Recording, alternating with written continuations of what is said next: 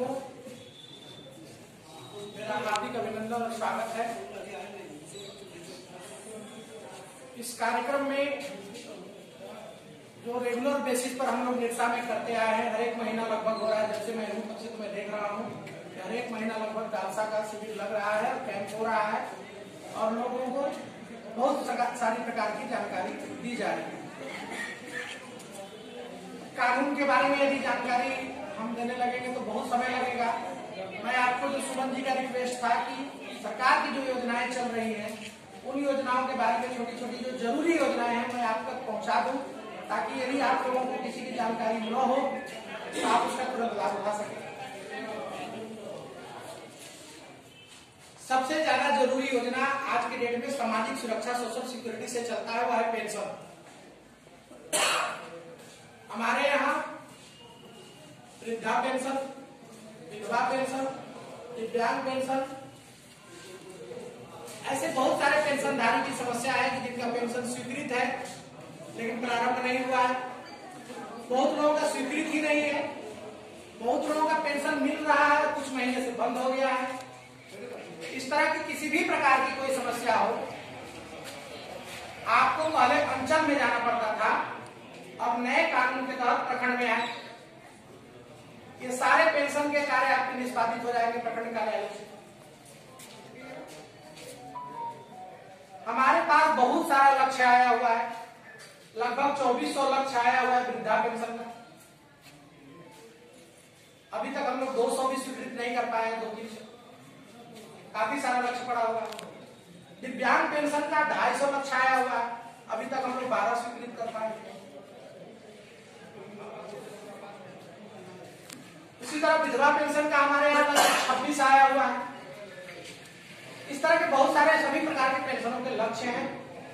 आप हमारे लक्ष्यों की चिंता न करें, आप मिली है, यदि आपको ज़रूरत हो, आप अपना आवेदन भर के और प्रखंड कार्यालय में जमा करें। आवेदन में क्या लगना है? बहुत कुछ नहीं चाहिए।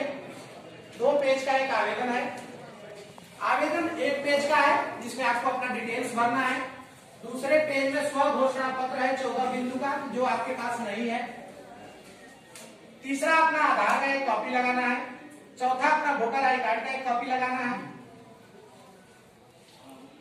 और पांचवा अपने बैंक अकाउंट का छाया प्रति लगाना है, साफ़। जो साफ़ साफ़ दिख सके बैंक अकाउंट, ऐसा फ़ोटो स्टेट लगाए पठनीय न ये बस इतने कागज़ लगाना है, कोई बीपीएल की अनिवार्यता नहीं है।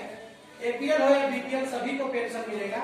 राशन कार्ड एक लगाना ज़रूरी है राशन कार्ड धारी कोई भी हो सकता है बीपीएल पीएच कार्ड आपका अंत्योदय कार्ड या किरासन तेल वाला या चीनी वाला कार्ड एपीएल कार्ड कोई भी कार्ड डालिए सभी को पेंशन मिले। तो ये पेंशन के बारे में मैं आप लोगों को बता दिया क्योंकि वर्तमान में चल रहा है, सरकार का फोकस भी है, हम लोगों का भी फोकस है।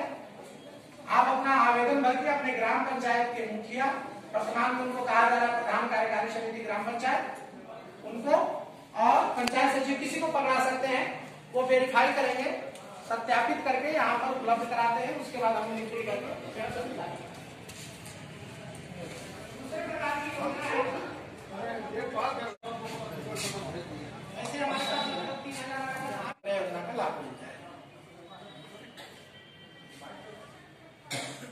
उसी तरह जो लोग दिव्यांग हैं, जिन्हें व्हील चेयर की आवश्यकता है, बैसाखी की आवश्यकता है, ऐसे लोगों का आवेदन हमारे पास आया हुआ था लगभग तीस लोगों का। उन सभी के लिए हम लोगों ने व्हील चेयर मंगा लिए आपके डालसा के इस कार्यक्रम में भी चार पाँच लोगों का आवेदन आया हुआ है, उनके लिए भी हम लोगों ने मंगा लिया है। वो सब कुछ आपको उपलब्ध हो जाएगा। इसके अतिरिक्त प्रखंड कार्यालय से हमारे जो दो योजनाएँ सबसे ज़्यादा ज़रूरी है जानना जब तक सामाजिक, आर्थिक, जाति, जनगणना के डाटा लिस्ट में उनका नाम नहीं है तो उन्हें प्रधानमंत्री आवास का लाभ नहीं मिलेगा। अब यदि लिस्ट में नाम है तो ही वह योग्य और योग्य भी है, तभी वो पात्र होंगे, आवास योजना लेने वर्तमान में हमें भी मालूम है कि बहुत सारे गरीब ऐसे छूटे हुए हैं, जिनका नाम नहीं है लिस्ट में। लेकिन अभी वर्तमान में उन्हें आवास की योजना का लाभ नहीं उपलब्ध उसी तरह मनरेगा योजना में आप मिट्टी वर्क करते हैं ज़्यादातर। सरकार का भी फोकस है मिट्टी का वर्क करने का मेटेरियल वर्क कम करने का।